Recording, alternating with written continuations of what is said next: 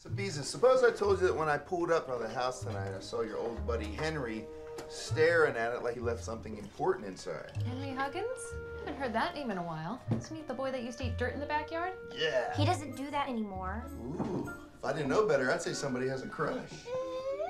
Can we please talk about something else? Nope.